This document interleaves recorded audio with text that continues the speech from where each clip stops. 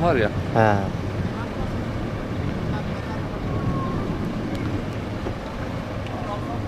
Şoförün yanında eşi.